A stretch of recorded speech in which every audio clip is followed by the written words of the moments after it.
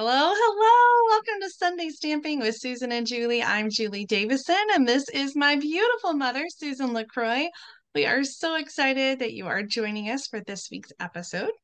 It is Sunday, August 13th. Oh my goodness, I can't believe it's already halfway through August. We've been sharing projects every single Sunday. We haven't missed one for the last two years. It's been so much fun. Has it been two years? It's been two years, yeah, right?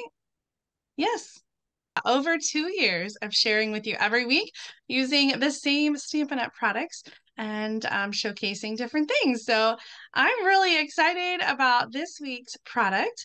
Um, dipping into a little Christmas. It seems early, but um, I, I we've got so many beautiful Christmas things out that it's hard to wait. oh, is it ever? My my new pre-order came and it's I was showing Julie earlier. It's spread all over my table. and I have a class here tomorrow, so uh it's gonna be fine. It's gonna be it fine. Be. I'm all over. I got this. Well, we are gonna hold the sneak peeks I think next week. I think next week we're going to start with some sneak peeks. Um, but this week we have um, something that you can get right now. And so that's why we're super excited to share some project ideas with it. So I'm going to flip the camera over, Mom, so that you can reveal our featured stamp set today. Okay. So this is So Very Merry.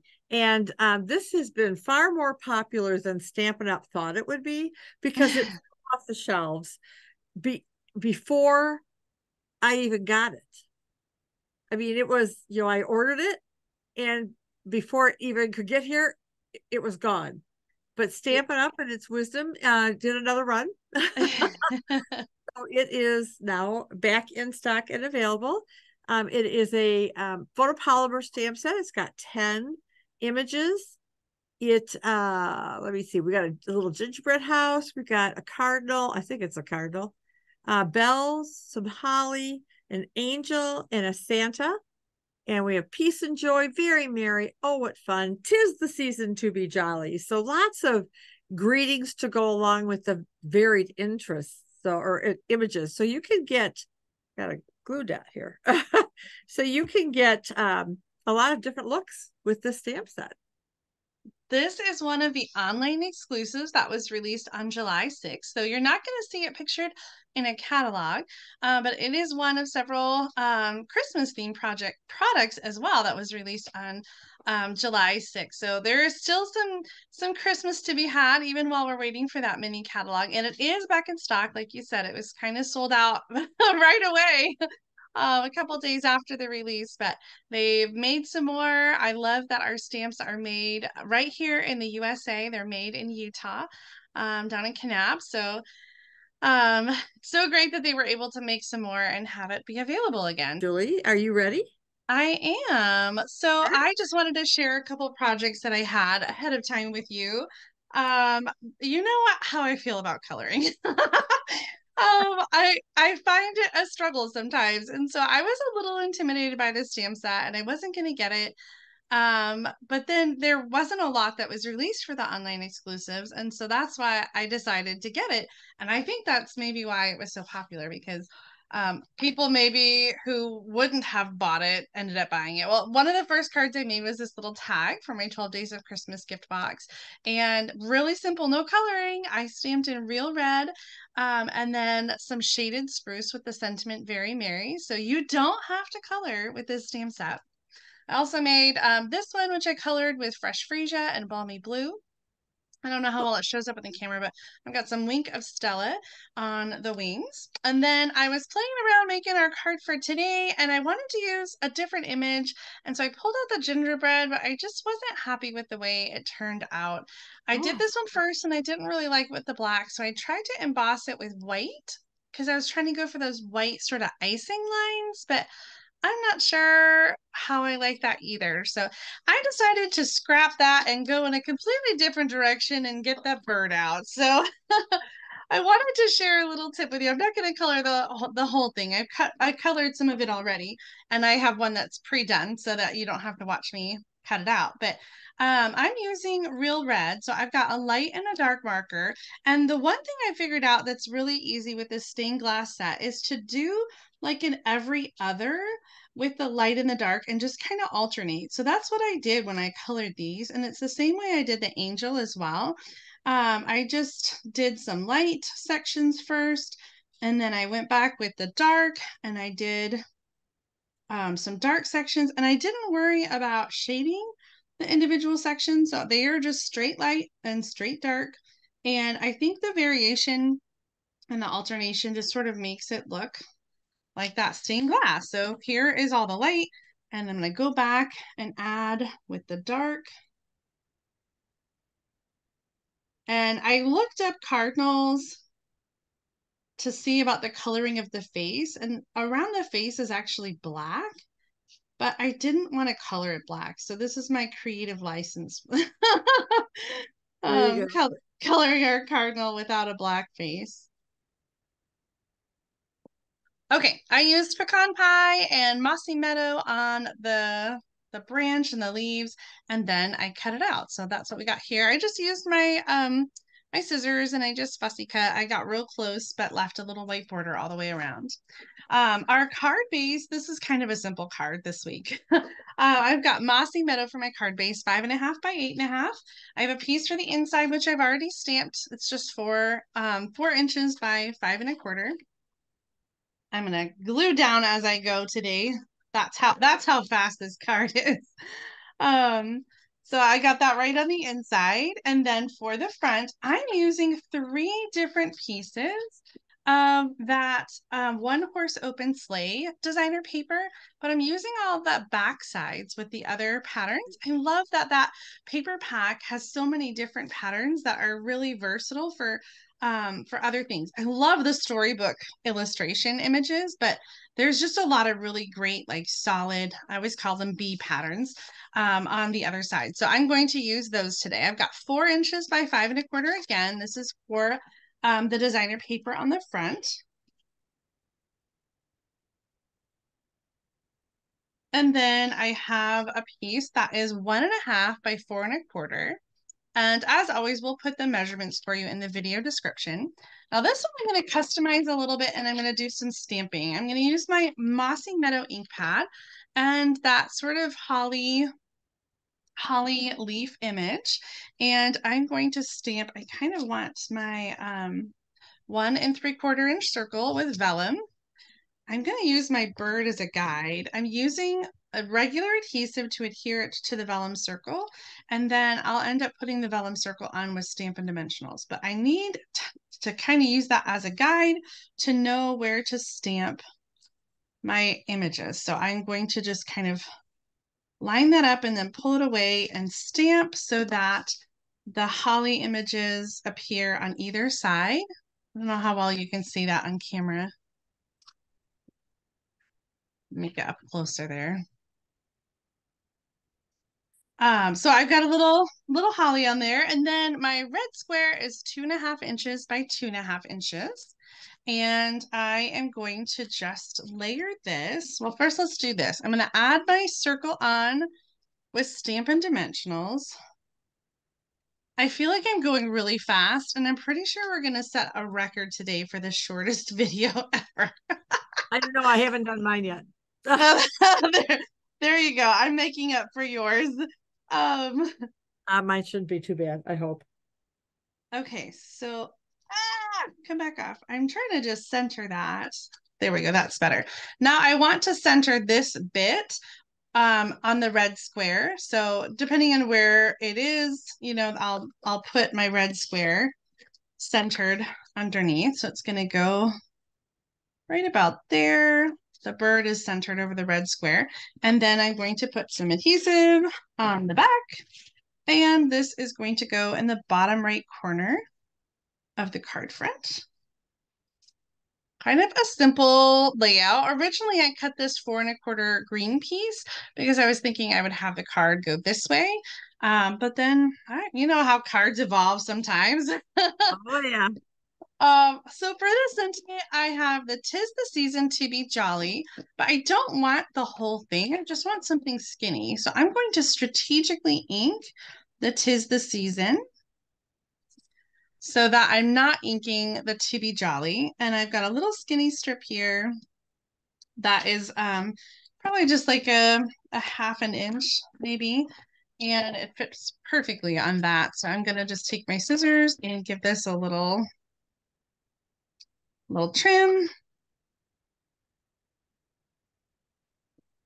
And I've got some embellishments. We're going to use a little bit of linen thread and tie a bow.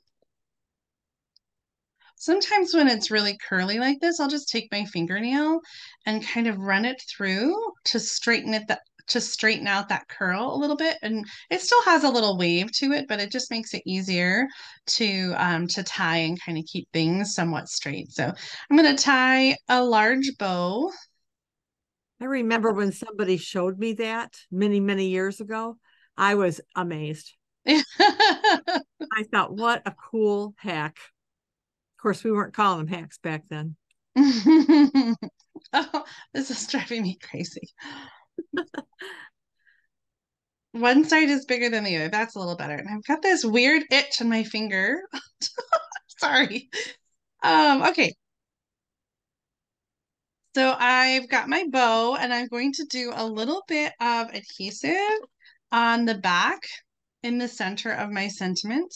And I'm going to stick, I'm going to stick the bow on kind of diagonally behind it. So it's sticking to that little spot. And then I'm going to use those Stampin' Dimensionals. I really um, like this layout a lot. Thank you. I do too. I'm going to have to try it again with some other things. Yeah. yeah. I'm just going to add this kind of on the side over here and I think that the the um the linen thread just really helps to kind of fill in that space. So you can trim trim those down a little bit. And then I got out the festive pearls. I thought that would be a nice little addition, a little bit of bling to dress up our card. And I know you're going to yell at me, but I'm going to stick with two. I'm not going to yell. well, let me show you. I added a third one when I made my sample and I just didn't like it. I just felt like it was random down here. And I just think that the two in the corner just kind of like corners it off nicely. So I'm leaving it like that. If you make it at home and you want to add three, then that is your choice. but there's my So Very Merry card. I am so glad I got this stamp set because, like I said, I have warmed up to it a lot. Um, and I think it's just really beautiful. And I cannot wait to, to see what you made. So let me switch the camera over so you can show us. All right. So I um this is I don't it, this is completely different than what I originally was thinking of. So first of all, I am using sentiments from Brightest Glow because they just kind of seem to fit this card better. So, uh, so if you don't see me using the ones from the stamp set, that's why. All right. So, uh, very quickly, our card base is eight and a half by five and a half, scored at four and a quarter. And I went ahead and embossed the greeting on the front. So, Merry Christmas in gold. And then I went ahead and die cut uh, with the um, stitched shape, stitched, whatever that is. Okay. Stylish shapes. Thank you. um, anyway, so that is our card base. And then I have two pieces of five and a quarter by four inches, one of which I've stamped the inside greeting. So you'll need two pieces of that. Uh, you'll need a piece of balmy blue to do Ooh. some embossing. Is that vellum? It's vellum, yes. Thank you. You said balmy blue. Did I really? Yes. Yeah, that's okay. Then another piece of vellum, which is four inches by three and a half. And this is actually, I'm going to use this to, to form a pocket behind the front of the card. I also did some punching, um, two and three eighth inch circles. I did gold, and there's two of those. And then one of two and a quarter inch um, white circle. Okay. All right. Now I pre-colored it so you don't have to watch me do the whole thing, but I just wanted to talk a little bit about this technique, which I call, and I believe that's what it's been called, the um, stained glass.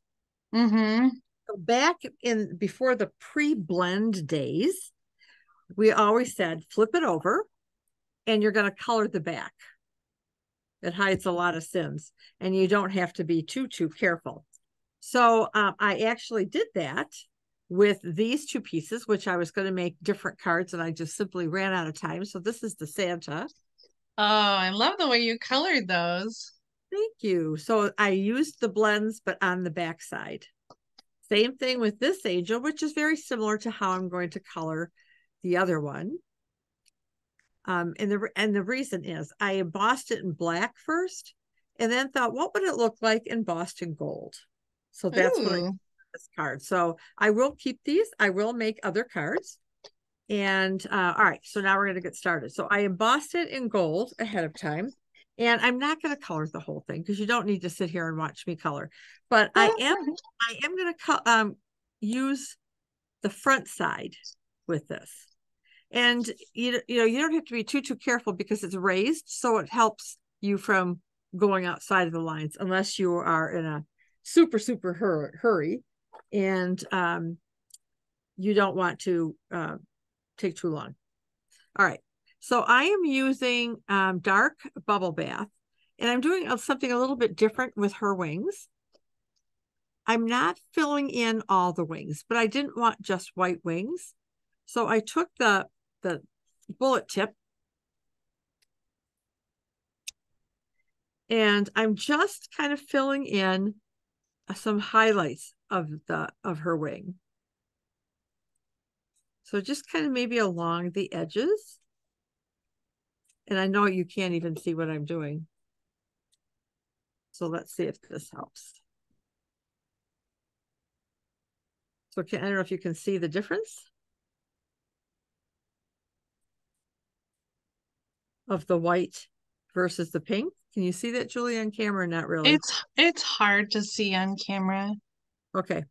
So I just basically did all that and threw some pink on there. Let me lift it up closer to the camera. Does that help at all? Not... A little bit. I can see I can see a little pink. Okay. I very did, subtle. That's what I was going for. I just wanted a subtle touch of pink in her wings. Okay. Um, then I went ahead and colored the rest and then punched it out. So you don't have to watch me color this aside. I'll finish this one later. So this is going to be our, um, our, I'm actually making an ornament is what I'm doing. Ooh.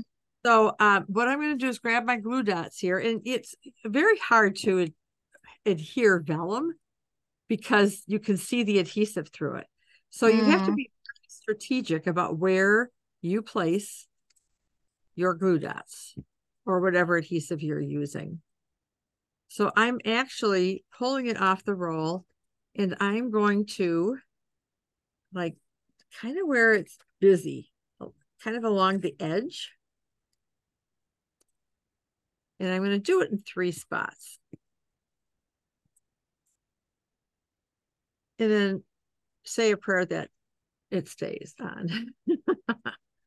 All right, so this is another maybe busy area over in this corner. I'm trying to stay away from the real light areas. Yeah. And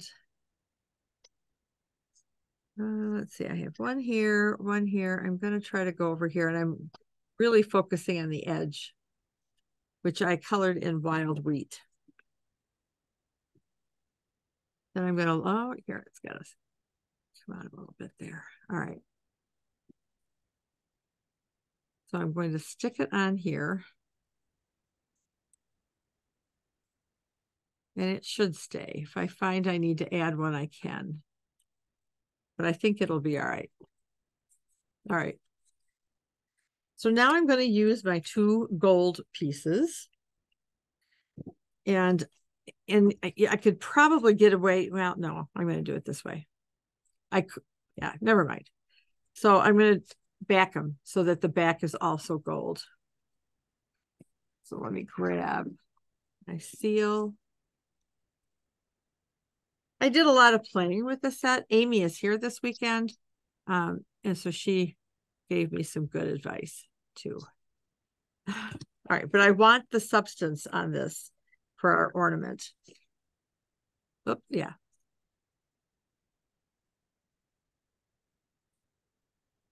So there is the ornament base. And then the other thing that I did, like Julie, whoops, I don't want that to go anywhere, is I took Wink of Stella and did her wings. Oh, nice. I was just thinking about how that um the edge with the wild wheat, it looks like gold.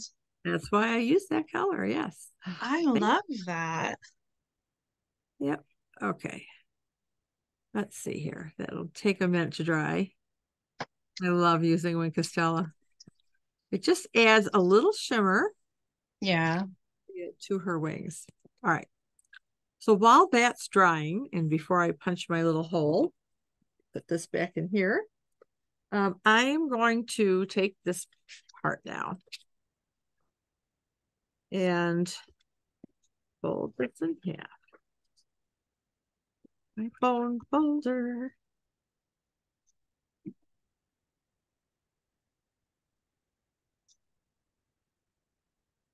And I'm going to take this piece of vellum and I'm going to place it here. And I'm going to use tear and tape and I'm going to put tear and tape on three edges. Ah. So that the open top then forms the pocket. And then I'm going to do the same thing. I'm going to adhere this piece of boho blue over it again, putting tear and tape on three sides and leaving the top open.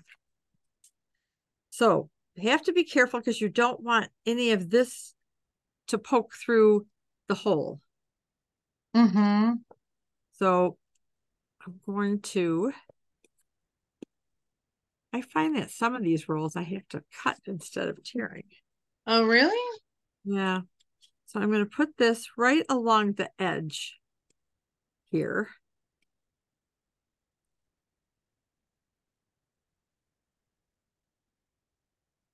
And same thing here. Maybe it's just the strength in my hands are gone. That's always possible. Mm. Okay, that shouldn't show through.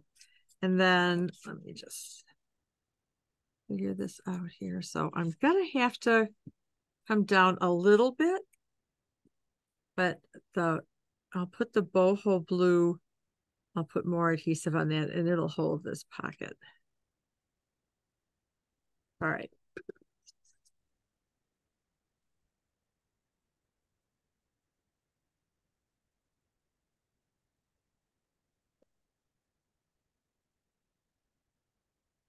I hope this is going to make sense.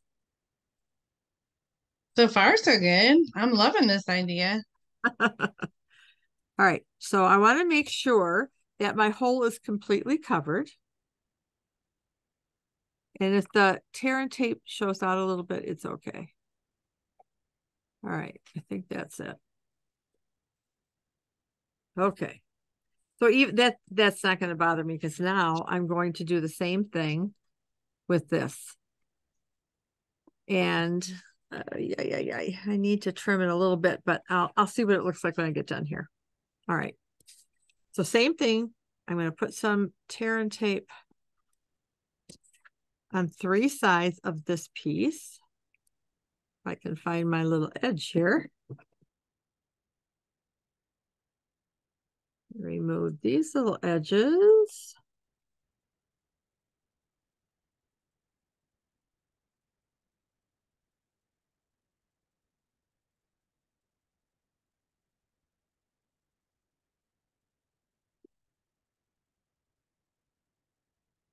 And I want to center this since this is four inches by five and a quarter. It's going to be close enough. Now, I have a little bit too much vellum on this side. So I'm going to trim this off. I'm going to have to get out an adhesive uh, remover and get rid of some of the excess tear and tape. Oh, all right, close enough for now. All right, so now we have this spot right here. And what I want to do is I want to um, emboss another angel that's going to be under this. So I want to kind of figure this piece out. So I'm going to take my pick a tool and I'm going to, should have something under this, but I don't. And I am going to go right kind of under here and poke a hole, which is through vellum and two layers of foil. I hope this works. I used uh, something else that we used to sell, but I've kept it for all these years. Oh, all right. I'm getting it out. Sorry, ladies. It's a puzzle. Do you remember these? That's a Crop-A-Dile. What did I say? Coluzzle. Oh, it's a Crop-A-Dile. Thank you. Do you still have yours? I do still have my Crop-A-Dile. Maybe I have my Coluzzle somewhere too. The Coluzzle was um it had like a foamy mat and yeah. this like rotating blade and so it had different templates and you could use it to cut circles and hearts and all kinds yes. of things yes yes yes you are so right all right i probably have that somewhere floating around here as well all right so i'm using i should tell you what i'm using this is uh i think an online exclusive now as well it's gold and silver uh, ribbon Yes.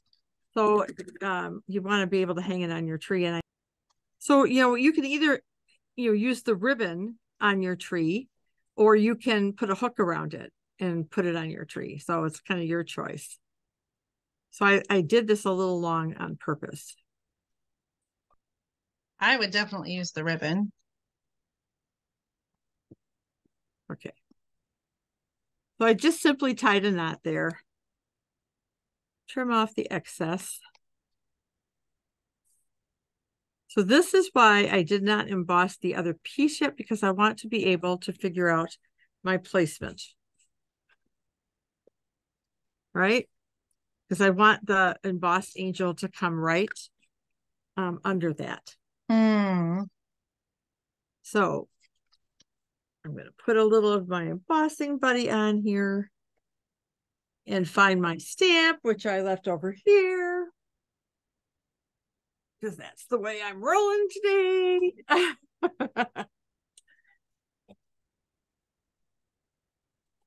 this up. Got the lid, Susan. The ink.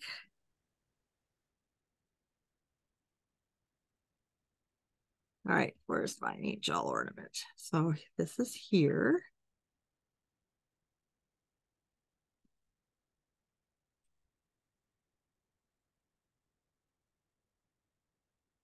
That almost was a disaster.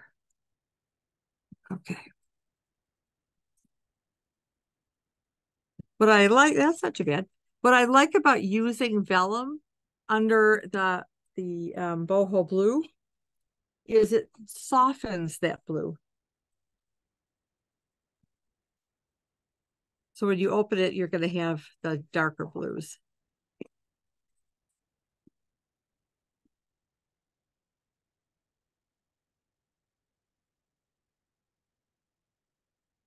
So I know what you're thinking. Oh my gosh, she is going to get embossing powder everywhere under there. No problem. I'll clean that up later. And then we're going to grab our embossing tool, our heat tool.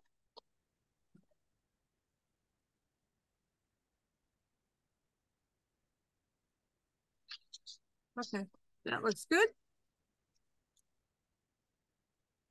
All right. I love the way that, I mean, just that right there. I think that's so beautiful. Oh, thank you. So what we can do now, just to show you, is we're going to slide our ornament in over this one. but that kind of a look. So um trying to figure out what to do with this because I don't like it hanging. So what I did, and I didn't bring it with me over here, so I will, but I just kind of pulled this down and put a piece of washi tape right there just to hold it. Oh, good idea. Yeah. So even though we don't sell washi tape right now, I have some still. So that's uh, what I did there. Now, I thought this really needed one more little thing before I put my inside piece on. And that is some of our new sneak peek time. Yay! ribbon.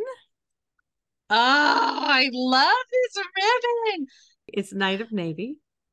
So I did a bow, but um, it was so bulky.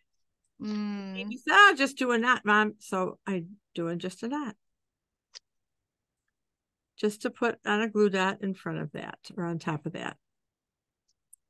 Because this is a wide, wider than our other, um, maybe a little bit tighter.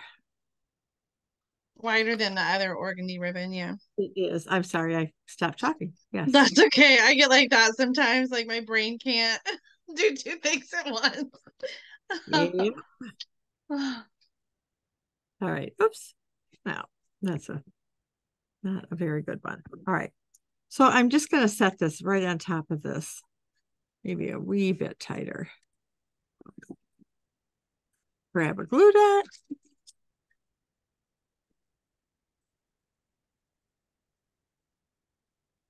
But I don't want to put it on the ribbon, so I have to make sure it stays on the card.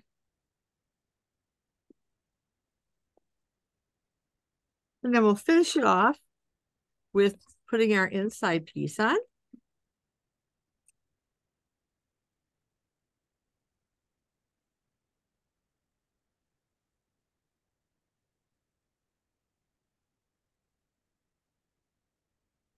And there it is. Oh my gosh, I love it. You knocked it out of the park with oh, this project. So here is the one that I did earlier. And this one I did color on the backside versus this one colored on the front. Mm, I don't tell that much of a difference, really. That's right. And then just that little piece of washi tape just to secure that here. So so there is my project. Oh my gosh. So beautiful. Thanks. Well, right. for now, let's turn the camera around and we'll show off our cards together.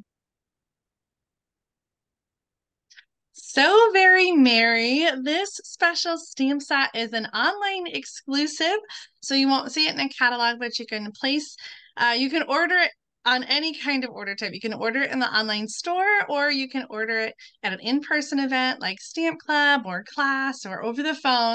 Um, if you are not seeing it in the catalog, it's because um, it isn't in the catalog. Um, online exclusives is something that is still new this year, but we are going to see um, new releases three times a year. So the next time we'll see some online exclusives that are outside of a regular catalog are going to be in November. Um, but before that, we've got the new mini catalog, which starts September 6th. We're so excited. Um, next week, we'll show you some sneak peeks as we share some project ideas using the new Take Your Pick um, tool attachments. I'm really excited about that. And then we're going to have a stamp along um, the week after that using the translucent florals, which is a brand new bundle available in the mini catalog. But you can stamp along using whatever you have at home if you don't have that one yet. All right, ladies and gentlemen, thank you for tuning in. We so greatly appreciate it. And until next Sunday, Stamping with Susan and Julie, have a wonderful week. Bye, Bye everybody. everybody. Thanks for watching. Bye, Mom. Love Bye, you. Julie. Love you.